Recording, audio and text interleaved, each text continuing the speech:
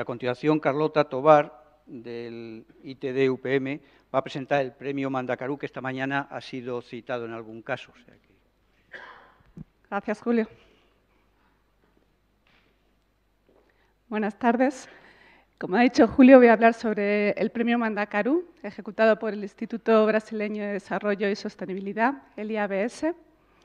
El premio surgió en el 2012 como una de las actividades del programa Cisternas, programa que fue fruto de un acuerdo de cooperación técnica entre el Gobierno de España y el Gobierno de Brasil. El premio, que está en su tercera edición, cuenta con el respaldo de un comité científico del que forman parte, entre otras instituciones, la Universidad Federal de Carirí y el ITD y además cuenta con el respaldo de un comité gestor, del que forman parte también, entre otras instituciones, el Ministerio de Medio Ambiente de Brasil y el Ministerio de Desarrollo Social y Combate al Hambre y el Instituto Interamericano de Cooperación para la Agricultura. Este fuerte respaldo institucional que acompaña al premio es lo que le ha permitido convertirse en algo mucho más que un premio, dando lugar a la articulación de toda una red de actores gubernamentales y no, gubernamentales perdón, que se han unido para impulsar esa convivencia solidaria y sostenible con el semiárido brasileño.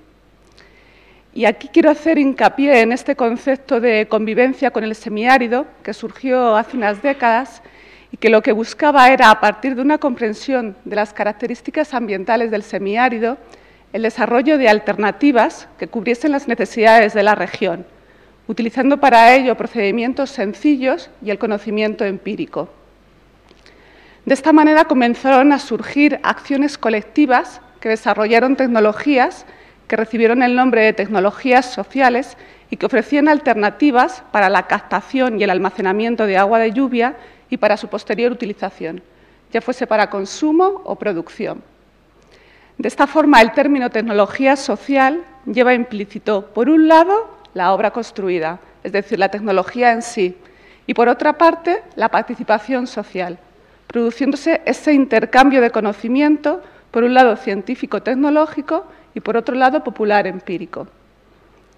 El objetivo así del premio Mandacarú es identificar, promover y divulgar estas tecnologías sociales. Y para ello premia una serie de iniciativas, algunas de las cuales estamos viendo aquí en el vídeo, iniciativas que se encuadran dentro de cuatro categorías. Asociaciones de agricultores, ONGs, instituciones de investigación y organismos gubernamentales.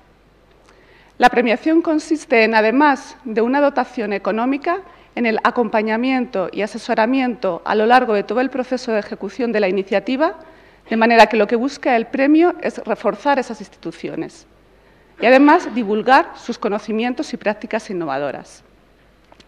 De esta manera, lo que ha conseguido el premio a lo largo de sus dos ediciones, la edición 2012 y la edición 2013, perdón, Lo que han conseguido es involucrar a 22 instituciones en los nueve estados del semiárido brasileño, implementando 197 tecnologías sociales que han repercutido en alrededor de 8.000 beneficiarios directos. Las principales problemáticas a las que ha tenido que hacer frente el premio han estado relacionadas con la escasez de agua y con la productividad y seguridad alimentaria, demostrándose que estos dos derechos básicos no estaban satisfechos en su totalidad y que requerían ese refuerzo institucional. La recuperación ambiental también se, demostró ser un problema importante en el semiárido.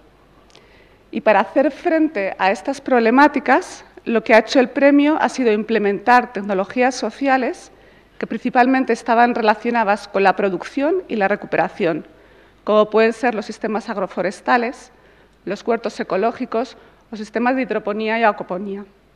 También, en segundo lugar, han desarrollado tecnologías sociales que han estado relacionadas con la captación y tratamiento de agua de lluvia, como pueden ser las cisternas o los desalinizadores. Y aquí podemos ver algunos ejemplos. Y también hay que decir que no todo ha sido fácil a lo largo de estos tres años de desarrollo del premio y quizá la principal barrera a la que ha tenido que hacer frente ha estado relacionada con esa dificultad a la hora de expandir ese área de influencia local que estos nichos de innovación social donde se están teniendo lugar estas tecnologías sociales están teniendo.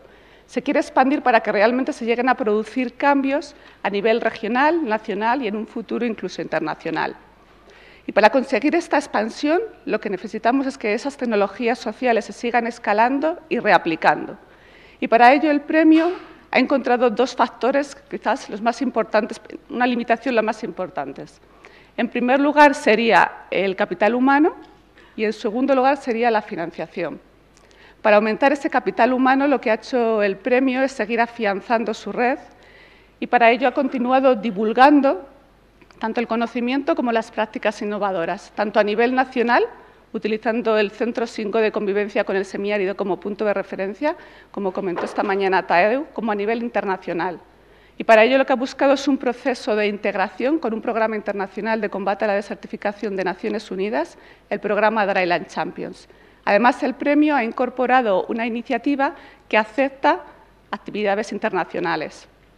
Y por último, para afrontar el factor crítico de la financiación, hay que decir que Mandacaru ya ha conseguido muchos éxitos, como habló esta mañana Tadeu, ha conseguido que algunas de sus tecnologías sociales estén ya a las puertas de convertirse en una política pública y lo que quiere el premio ahora es convertirse en una acción permanente para obtener unos recursos estables que le permitan seguir no solo expandiéndose, sino garantizando la sostenibilidad de lo ya creado hasta ahora. Muchas gracias.